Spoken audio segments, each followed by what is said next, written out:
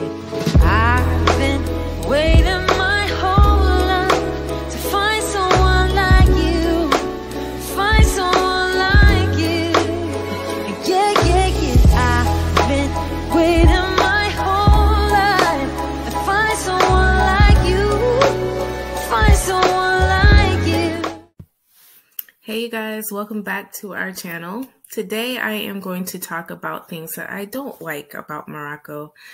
The last video I talked about things that I love about Morocco, the top five things. And in this video, I'm going to talk about some of the five things that I don't like about Morocco, which actually took me some time to figure out. And excuse my shirt, it's Christmas time. and I love the holidays. You'll actually notice one video I am wearing my Beetlejuice shirt that was during Halloween.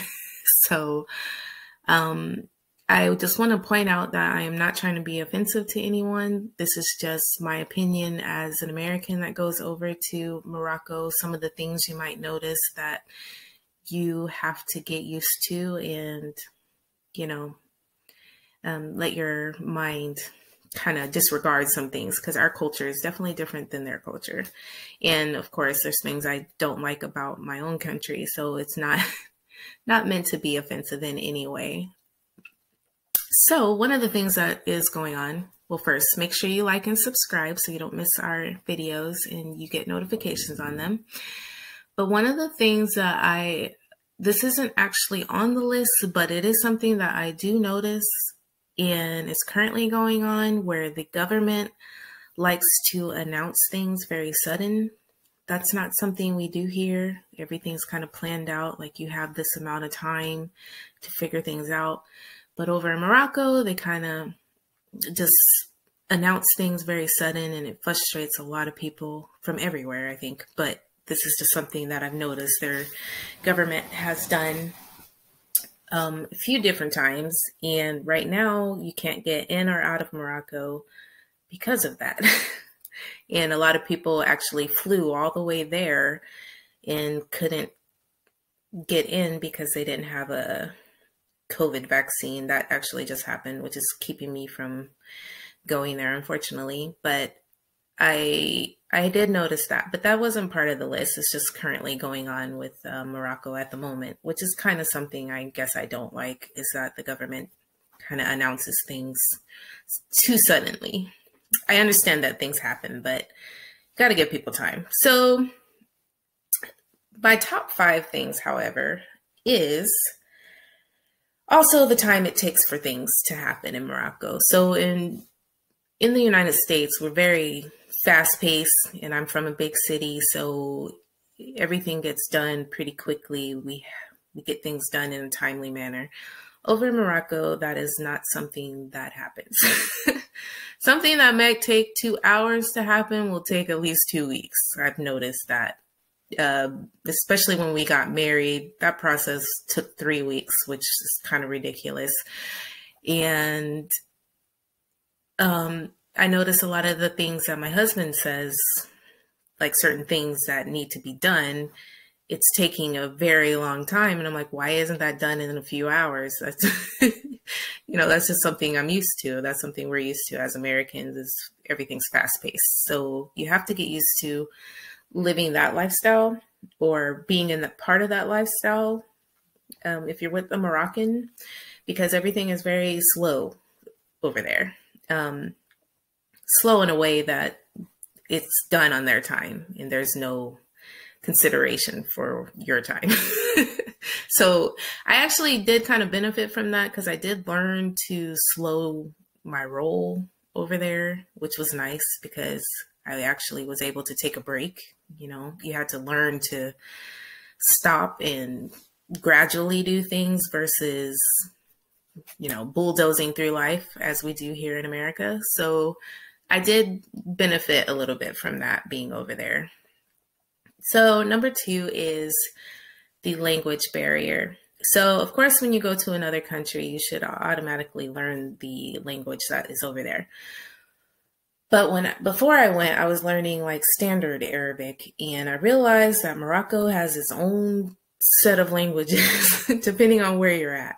So, first of all, they speak French in Casablanca, French in um, Darija, Arabic. So I went over there completely clueless that they even spoke French.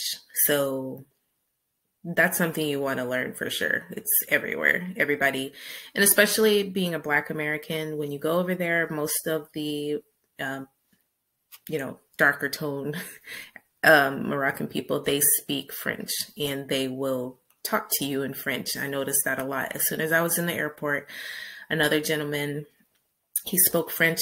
He was Black to me, my skin tone, and he was immediately talking to me in French like I was supposed to understand. And I was like, I speak English. And he's like, oh, okay. So he had to get out his phone and translate stuff like that. So you want to learn French. And the more north you go, you want to know French. Now, there's some people who do speak English in um, Casablanca, but the more north you go, there's not going to be anybody that speaks English. I definitely was the maybe one of five people there, I felt like. But I needed to know French um, up north, Spanish, because they do start speaking Spanish in some areas. Then there's Berber and other languages. So I just feel like there's a lot of different languages and I got confused on which one I was supposed to learn. So it's not like a a big deal. I can learn the languages, but there's so many different ones there that you can't really pinpoint which language you're supposed to learn. So that was kind of it's still kind of like well, I don't know what language I'm supposed to learn, but French is a very good one you want to learn. so that is number two. Number three is the driving. I refuse to drive over there. I will keep that to Sophie Soufian.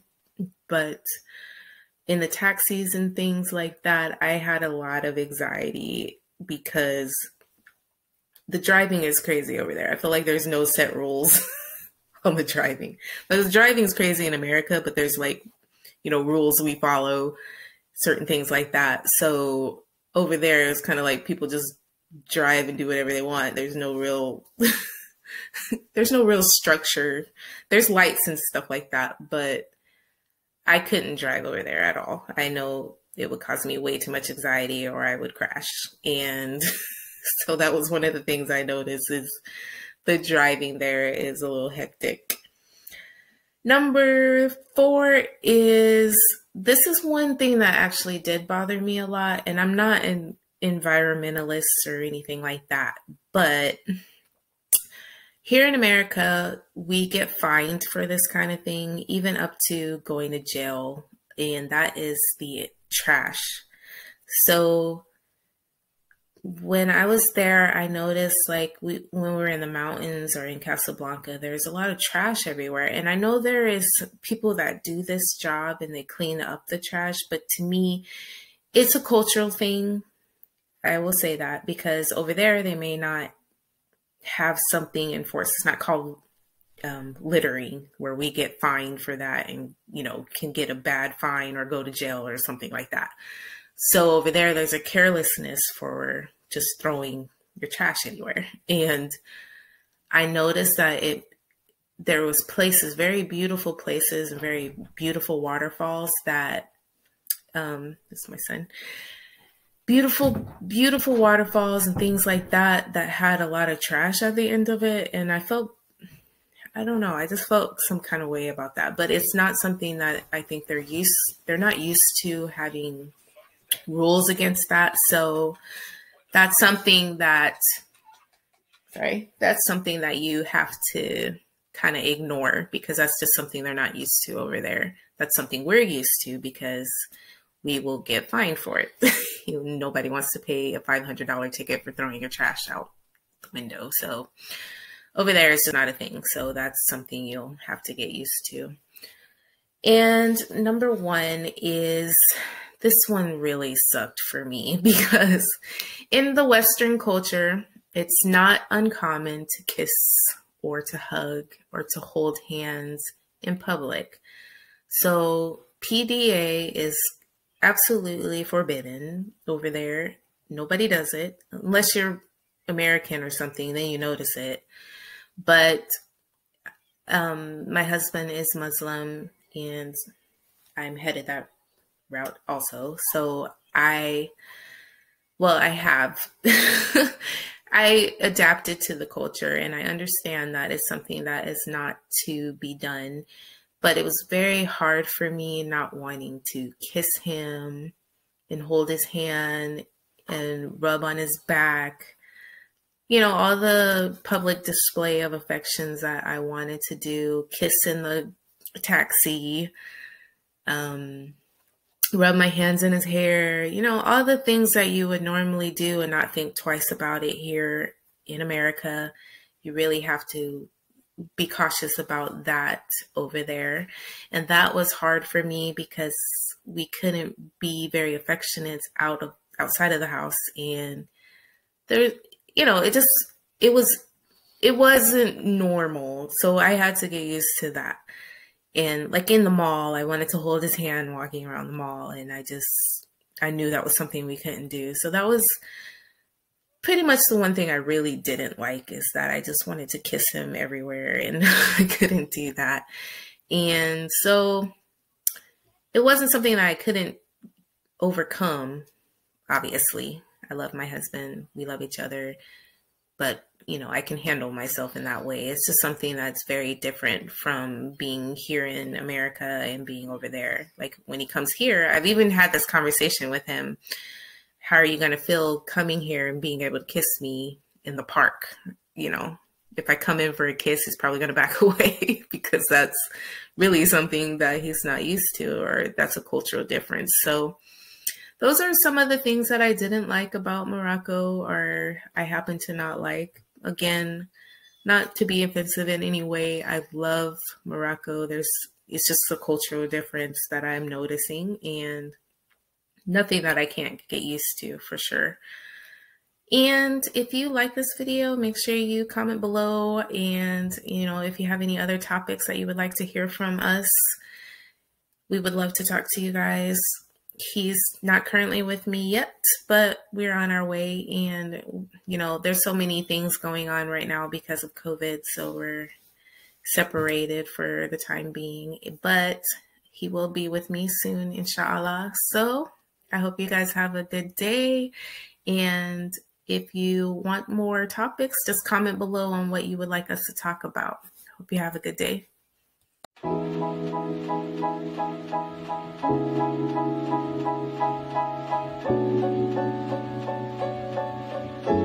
you.